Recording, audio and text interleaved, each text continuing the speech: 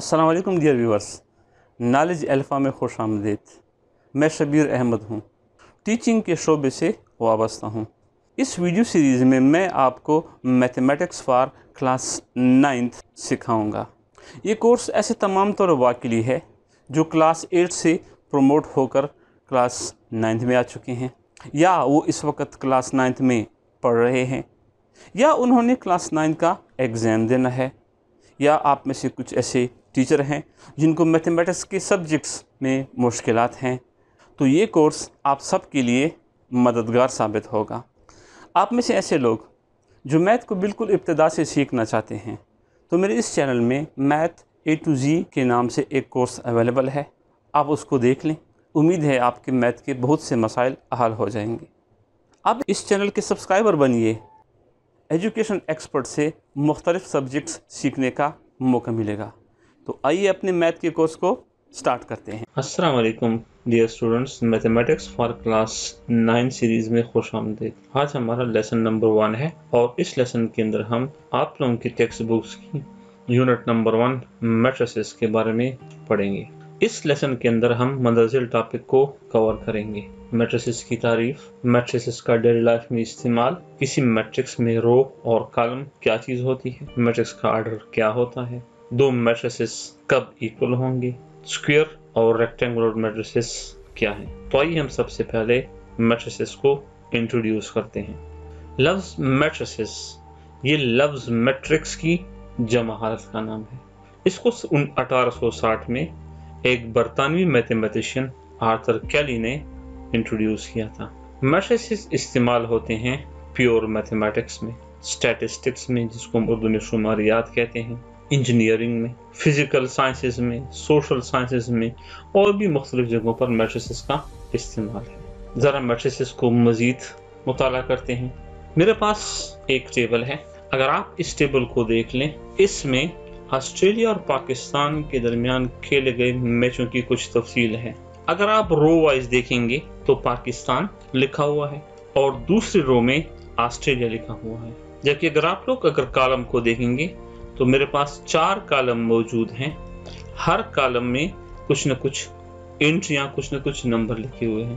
पहले कॉलम में played matches दूसरे में जीते गए मैचेस तीसरे में ड्रॉ मैचेस और चौथे में लॉस्ट या हारे हुए मैचेस की तफसील मौजूद है। इस टेबल की मदद से हम मुख्तलिफ़ सवाल का जवाब दे सकते हैं। मिसाल के तौर पर, कोई मुझसे पूछ सकता है कि पाकिस्तान के खिलाफ ऑस्ट्रेलिया कितने मैच हारा है? तो हम सबसे पहले ऑस्ट्रेलिया वाले रो में जाएँगे और हारे हुए कॉलम में जाएँगे तो वहाँ पर हमें एक वैल्यू नज़र आएगी चार। इसका मतलब ये होगा कि ऑस्ट्रेलिया पाकिस्तान के खिलाफ चार मैच हारा है और इसका आंसर हो जाएगा चार। अगर हमें को, कोई हमसे ये पूछे कि पाकिस्तान ने ऑस्ट्रेलिया के खिलाफ कितने मैच ड्रॉ किए हैं तो हम पाकिस्तान वाली रो को पकड़ेंगे और ड्रॉ वाले कॉलम को पकड़ेंगे वहाँ पर जो हमें वैल्यू नज़र आ रही है, वो है वन तो जिसकी मदद से हमारा जवाब होगा कि पाकिस्तान ने ऑस्ट्रेलिया के खिलाफ एक मैच ड्रॉ किया है। इस तरह के मुख्तलिफ़ किस्म के सवाल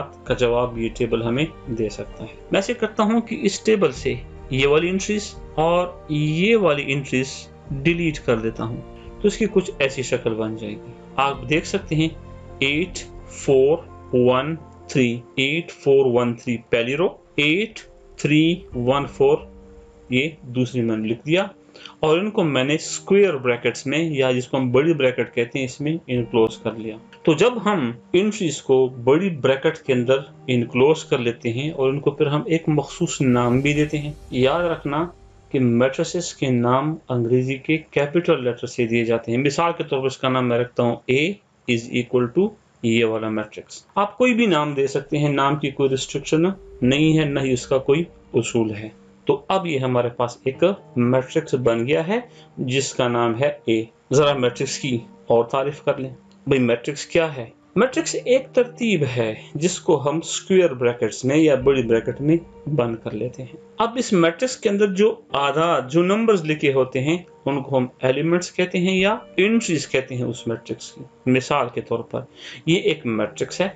इसके अंदर आपको जो नंबर नज़र आ रहे हैं, दो, तीन छ पाँच, ये तमाम के तमाम नंबर्स इस मैट्रिक्स के एलिमेंट्स या एंट्रीज कहलाती हैं। तो आप देख सकते हैं कि दो, तीन छः पाँच इस मैट्रिक्स की एंट्रीज हैं। इस तरह मेरे पास एक और मैट्रिक्स है। इसके अंदर जितने भी नंबर्स लिखे हुए हैं, ये तमाम के तमाम नंबर्स इस मैट्रिक्स की एंट्रीज हैं या इसके एलिमेंट्स हैं। इसी तरह मेरे पास एक और मैट्रिक्स है। इस मैट्रिक्स में जितने भी ये नंबर लिखे हुए हैं, तक ये नौ नंबर्स इस मैट्रिक्स की एंट्रीज कहलाते हैं। किसी मैट्रिक्स में रो क्या चीज़ है और कॉलम क्या चीज़ है? आइए इसको भी जरा देख लेते हैं। रो ऑफ़ अ मैट्रिक्स जो हॉरिजॉन्टल एंट्रीज होंगी, जो हॉरिजॉन्टल एलिमेंट्स होंगे, वो कहलाए जाएँगे उस मैट्रिक्स के रो तो फिर कॉलम क्या होगा?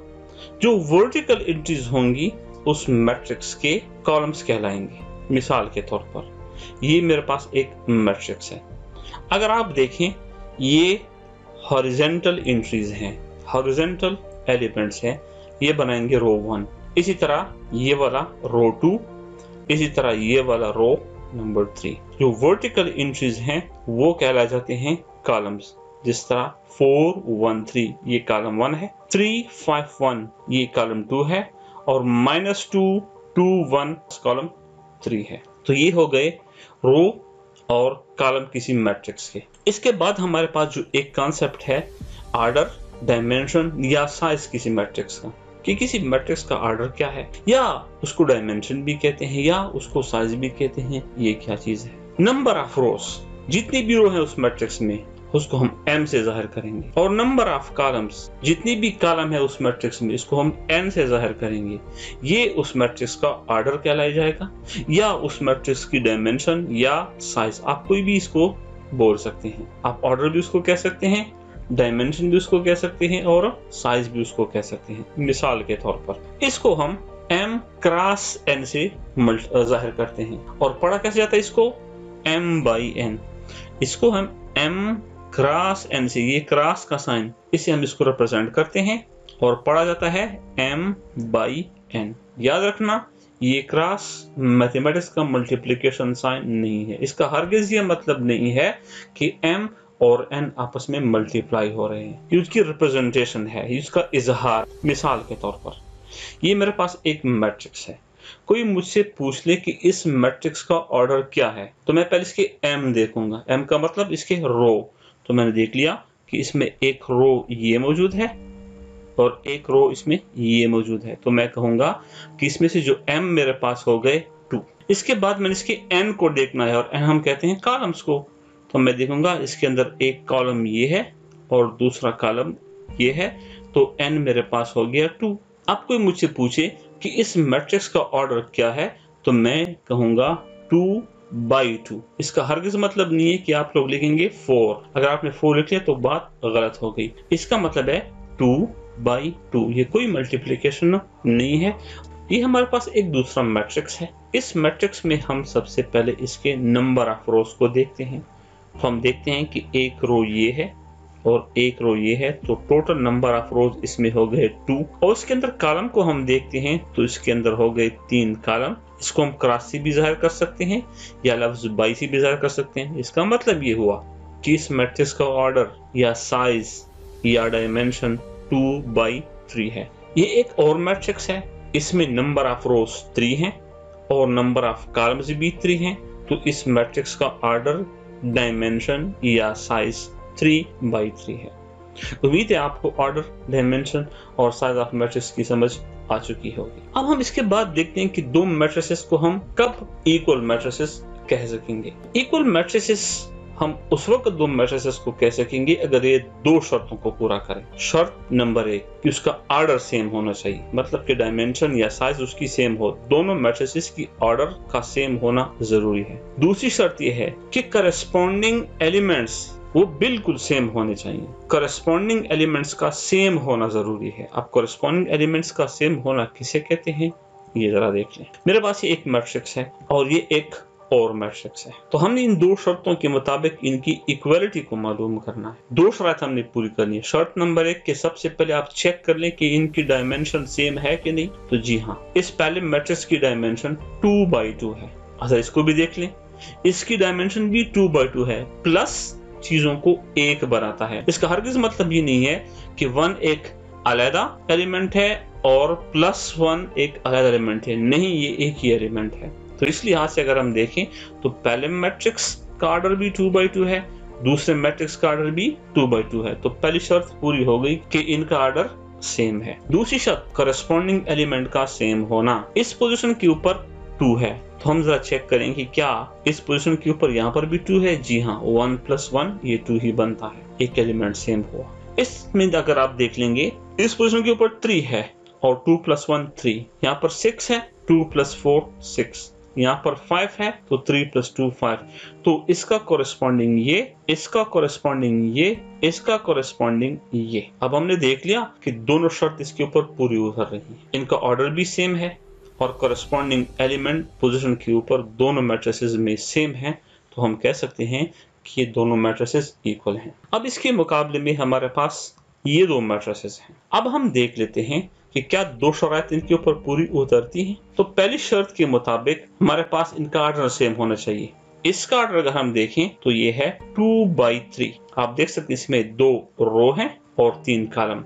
जबकि इसके मुकाबले में, इस मैट्रिक्स में नंबर ऑफ़ रोज थ्री हैं और नंबर ऑफ़ कॉलम्स टू हैं तो इसका ऑर्डर हुआ थ्री बाई टू। तो पहली शर्त पूरी नहीं हुई। पहली शर्त के मुताबिक दोनों का ऑर्डर सेम होना चाहिए। अब इनका ऑर्डर सेम नहीं है तो ये दोनों मैट्रिसेस इक्वल नहीं होंगे। अगरचे, आप देख भी सकते हैं कि इनके एलिमेंट सेम हैं। One two three four five six यहाँ पर भी one two three four five six हैं।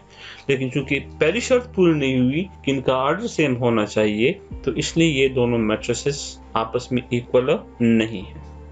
अब हम देखते हैं कि स्क्वायर और रेक्टेंगुलर मैट्रिसेस किसे कहते हैं। स्क्वायर मैट्रिक्स की तारीफ़ कुछ यूँ है कि ऐसा मैट्रिक्स जिसमें नंबर ऑफ़ रोज और नंबर ऑफ़ कॉलम की तादाद बराबर हो स्क्वायर मैट्रिक्स कहलाएगा। रेक्टेंगुलर मैट्रिक्स एक ऐसा मैट्रिक्स होगा जिसमें नंबर ऑफ़ रोज और नंबर ऑफ़ कॉलम्स की तादाद आपस में बराबर नहीं होगी। मिसाल के तौर पर हम इस मैट्रिक्स को देखते हैं।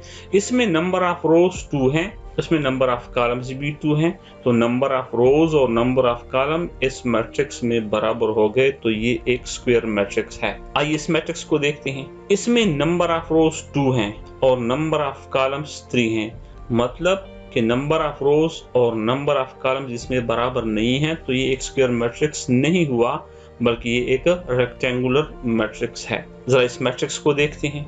इसमें नंबर ऑफ़ रोज थ्री हैं और नंबर ऑफ़ कॉलम टू है तो अगेन ये भी एक रेक्टेंगुलर अगर आप इस लेसन में तमाम कॉन्सेप्ट को सीख चुके हैं, और आपको लगता है कि आपको उनकी समझ आ चुकी है तो आपके कोर्स की बुक में एक्सरसाइज दी गई है। आप उस एक्सरसाइज पर प्रैक्टिस करें। लेकिन अगर आपके पास बुक अवेलेबल नहीं है तो हम इस वीडियो के आखिर में आपको उस एक्सरसाइज का स्नैपशॉट भी दिखाने वाले हैं, ताकि आप उन सवाल पर प्रैक्टिस कर सकें। हम अपने आने वाली वीडियो में इस एक्सरसाइज के एक एक सवाल को हल करेंगे। लेकिन उससे पहले ज़रूरी है कि आप भी उन एक्सरसाइज पे प्रैक्टिस कर लें। अगर आपने अभी तक ये चैनल सब्सक्राइब नहीं किया तो प्लीज़ इसे सब्सक्राइब ज़रूर कीजिएगा, ताकि आने वाली हर वीडियो आप तक पहुँचे और आप कोई भी वीडियो मिस न कर पाएँ। अगर आपको लगता है कि वीडियो से आपने कुछ सीखा है तो आप इसे लाइक ज़रूर कीजिएगा। अपने दोस्तों के साथ भी इसको शेयर कीजिए। ताकि ज़्यादा से ज़्यादा लोगों को फ़ायदा मिल सके। अस्सलाम वालेकुम।